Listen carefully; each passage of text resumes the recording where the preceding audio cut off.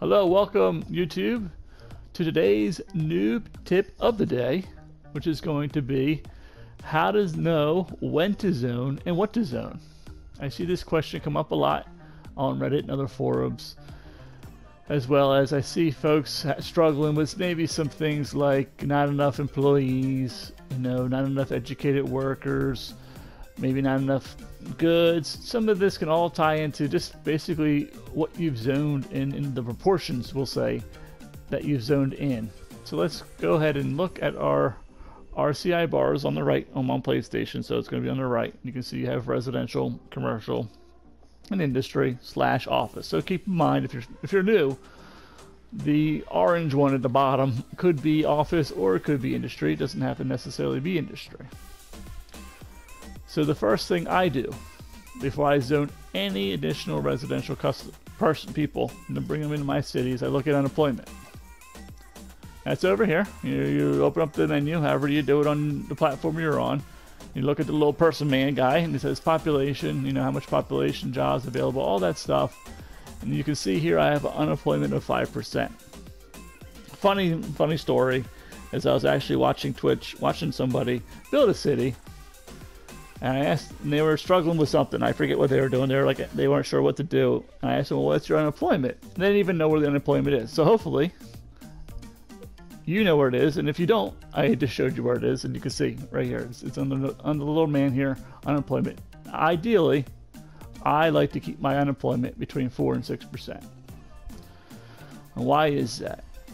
The reason I, I keep it between 4 and 6% is because it encourages folks to take jobs. So when it is four to four to six percent, or even higher, that means you have more people than jobs, right?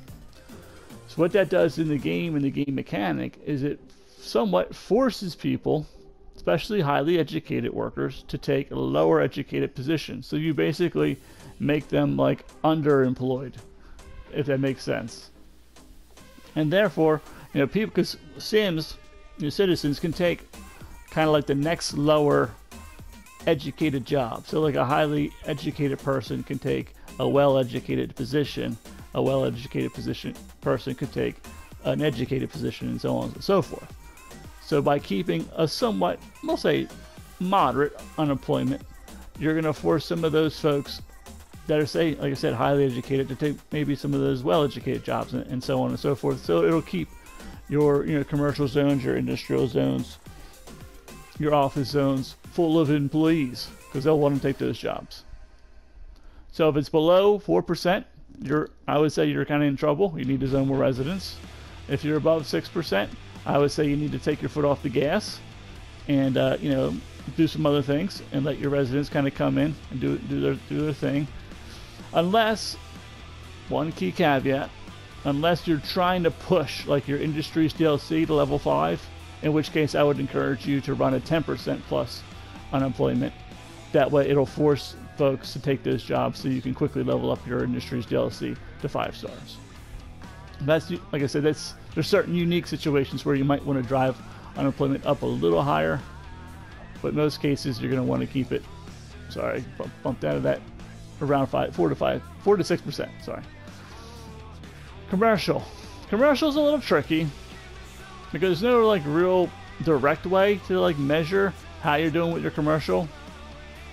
So we're gonna we're gonna loop back to that because it, it's gonna take us out of this menu into a different menu, and I'll show you some of that stuff. Whether to uh, zone office or industry, of course, you can look at your demand bar here on the bottom right, or does say you know the I part or the yeah the I part of it, and see okay if you have demand or not. But I always go over here and look at import and export, so your outside connections if you're roughly balanced, so if you're running a balanced city, you want these numbers to be roughly zero. Mine are at 669 and 829 for 100 and we'll say 7,000 population city.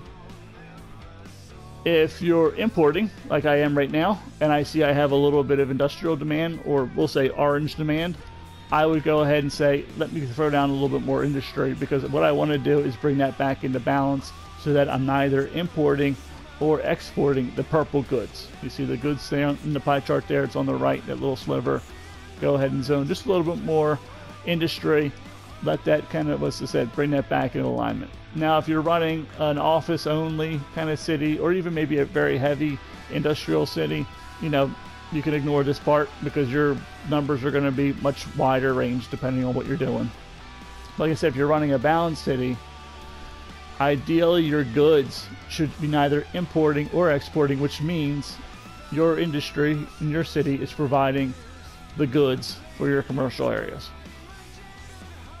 Now, if I was exporting a lot of purple, which I'm not, then I would say, okay, let me let off the gas on the industry. You know, it's providing more than enough for my town and is actually exporting. So let me go ahead and zone some office. So I look at my unemployment first. Okay, maybe if it's above 6%, I don't have enough jobs for the people. I go ahead and go, let me zone something. Well, let me go look at my import and export. I don't need any industry, so I don't need a zone industry. I have the option now to either zone office or I can zone commercial. And now this is going to kind of tie into commercial. To look at your commercial, you kind of want to look at this there, the city info map, and look right in the middle of the screen here where it says zone buildings distribution. But underneath all your levels. And I always kind of like look, I, not always, not like it's like every day or every hour, but I like to just take a spot check once in a while and say, where am I at on my zone building distribution?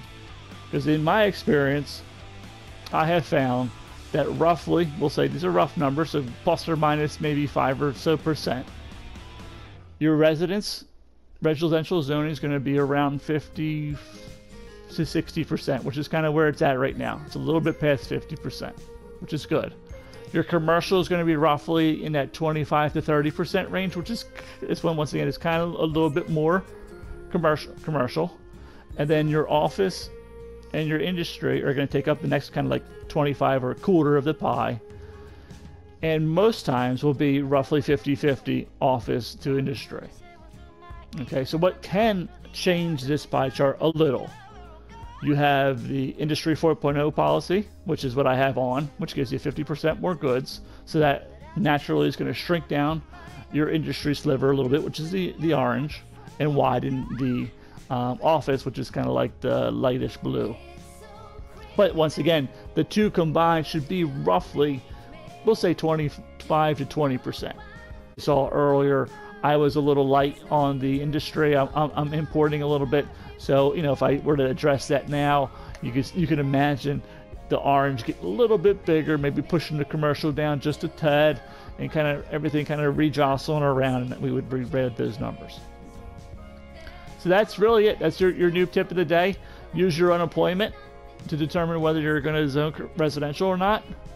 Also use your unemployment in tandem with, and we'll go back into the menus, in tandem with the outside connection to see if you need more jobs because your unemployment's actually a little high.